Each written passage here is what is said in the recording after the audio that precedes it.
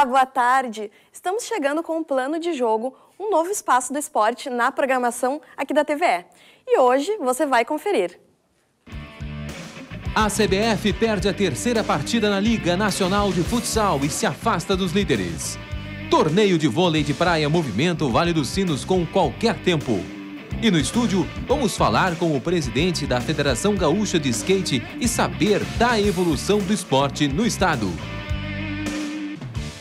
A, a CBF perde mais uma e se afasta dos líderes da Liga Nacional de Futsal.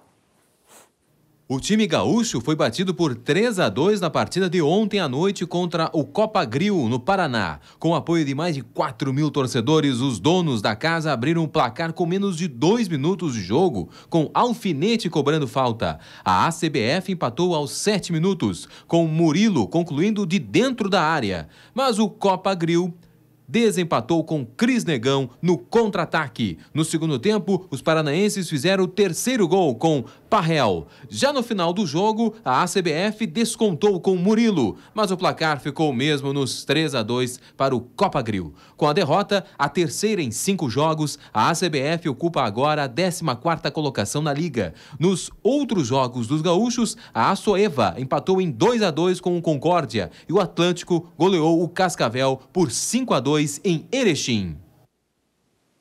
No último fim de semana, foi realizada a segunda etapa do circuito Praça da Juventude de Vôlei de Praia, em Novo Hamburgo. O torneio está movimentando esportistas e simpatizantes de todo o Vale dos Sinos e até de outras partes do estado.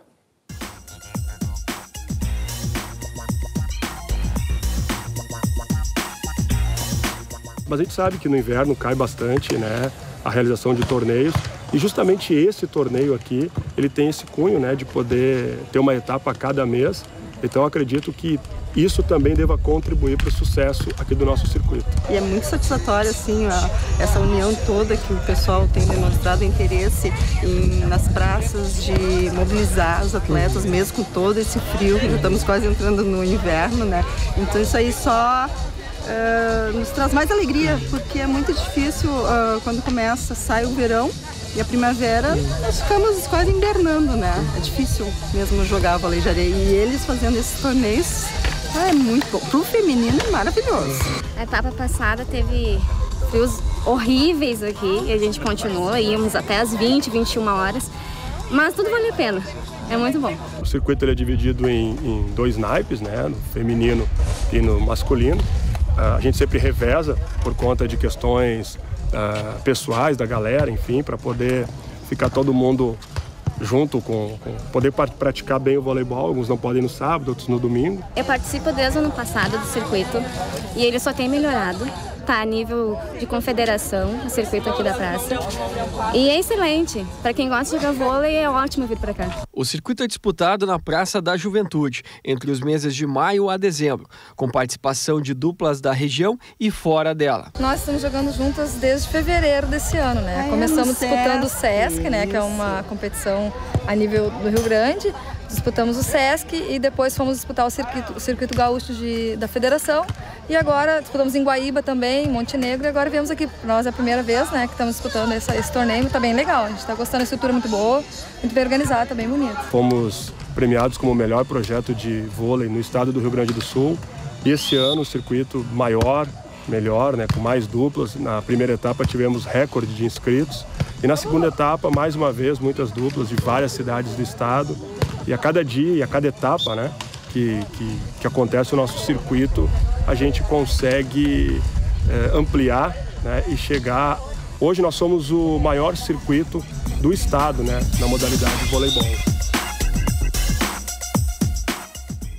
E ó, faltam 80 dias para os Jogos Olímpicos.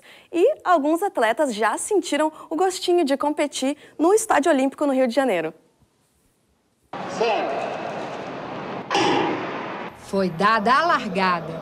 Um dos principais palcos da Olimpíada do Rio foi colocado à prova neste fim de semana. O Estádio Olímpico Newton Santos volta a ser o grande templo do atletismo durante a Rio 2016. E é aqui que acontece o Campeonato Ibero-Americano de Atletismo, com mais de 400 atletas de 24 países. Na pista, as muitas modalidades do esporte fizeram a alegria da arquibancada. Para muitos atletas, o Ibero-Americano significava a chance de garantir uma vaga nos Jogos do Rio. A medalha de bronze né, foi aí um resultado bom, né, uma medalha. Claro que eu queria mais, né? Queria mais e estou preparado para isso, né?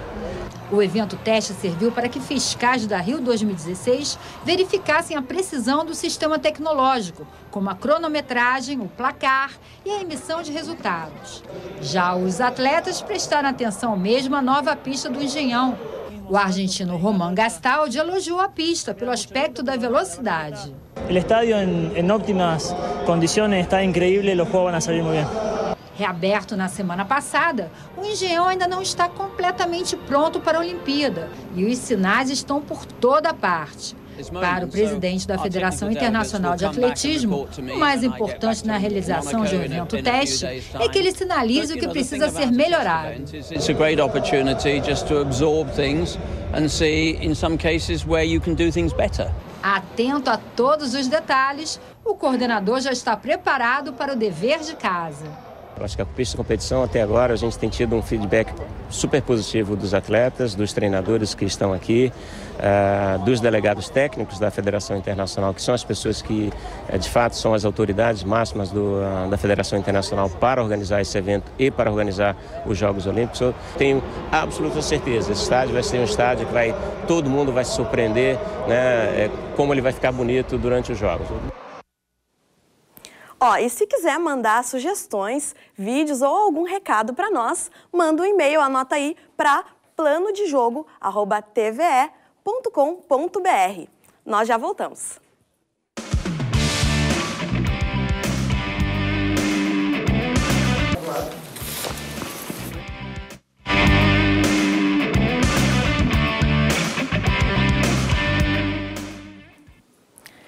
Nosso entrevistado hoje é o Regis Lanig, presidente da Federação Gaúcha de Skate, que veio nos contar como está esse esporte aqui no estado. Boa tarde, Regis. Boa tarde, Fernanda. Boa tarde a todos os telespectadores do Plano de Jogo.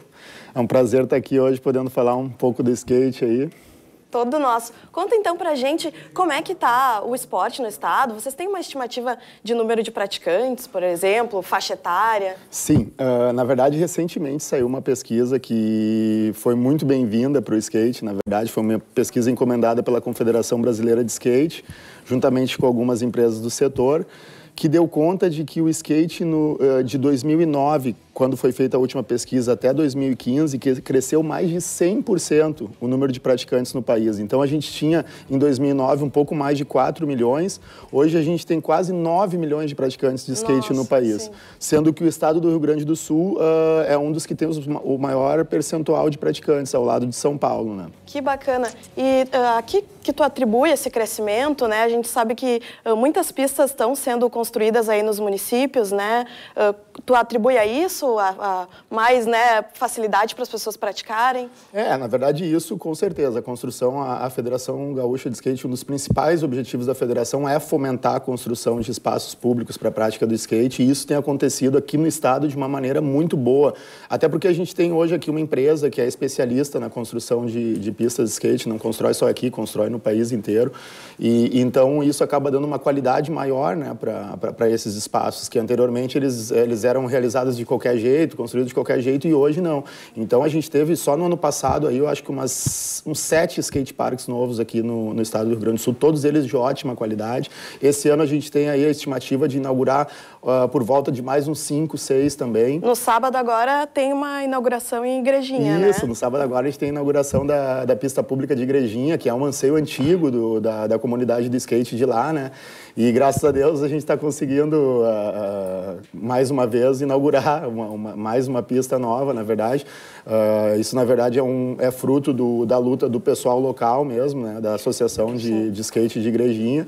Então, para nós é muito legal. A gente vai estar tá lá presente no final de semana, vai ter um evento de lançamento, enfim. Então, é, eu acredito que esse seja um dos principais fatores mesmo para o skate ter e crescido. Em Voti, vocês têm um projeto também que envolve escolas, né? Conta para a gente como é que funciona isso. essa iniciativa. A gente tem um projeto em Voti que já está no oitavo ano. Ele é um, um, projeto que é vinculado ao Plug, que é um, um, um programa lá da cidade de Ivoti, né?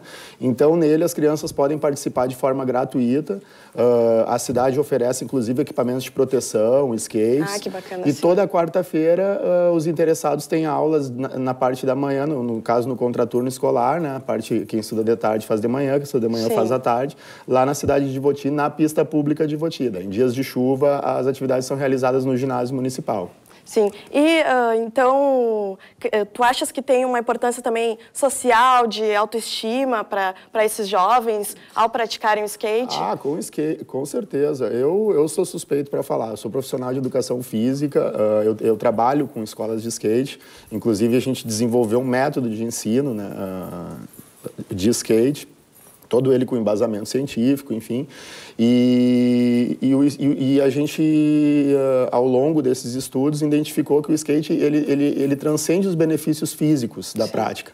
Uh, na verdade, um dos maiores benefícios mesmo é o aumento da autoestima, é a relação esforço-recompensa que o skate, por, pelo fato de ser um esporte muito técnico, ele é um esporte que existe, exige muita persistência, principalmente no período inicial dele, né? Para te Para não desistir. Exatamente. A, até por um dos aspectos, né, que a, que a gente comenta quando fala de skate, é a questão do cuidado aí para não se machucar exato, também. Exato. Como é que vocês uh, trabalham isso, né? Porque tem esse risco aí de, de ferimentos da pessoa, né, ter claro. a, algum tipo de, de, machucado mais grave, Sim. alguma torção, enfim. Uh, como é que vocês uh, lidam é. com isso também como federação? Tem procurado incentivar também a proteção de alguma forma? Sim. É a gente sempre. Uh, o uso de equipamentos de proteção é uma coisa que todos os lugares onde Sim. eu vou falar de skate. Especificamente no eu, downhill, né? Isso também fica. É, o downhill, né, na verdade, é uma coisa que deve ser praticada. O risco ele não muito, é né? uma. O, downhill é, é, é, importante frisar que ele não é uma modalidade para amadores. Tem aqui ele em é Porto Alegre modalidade... algum, algum lugar para praticar downhill, assim? Ah, a gente não tem hoje uh, locais assim que são fechados em finais de semana. A gente tem isso, uh, tá, tá, tendo alguns treinos lá em São João do Deserto, na Lomba Grande, uhum. em Novo Hamburgo. Tem acontecido esses treinos aqui em Porto Alegre, no momento a gente não tem.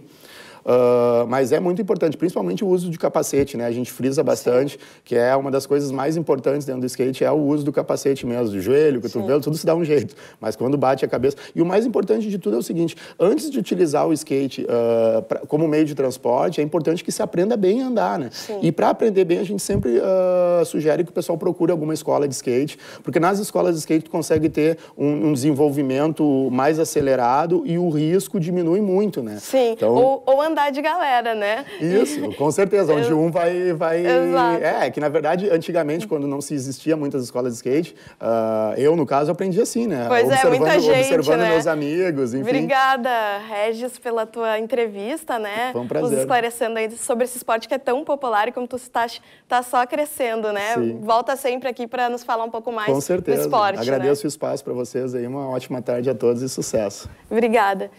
E você pode acompanhar o plano de jogo também na internet. É só acessar o canal da TVE no YouTube. O endereço está aqui na tela. Então era isso. Até amanhã. Tchau. Uma ótima tarde para todos.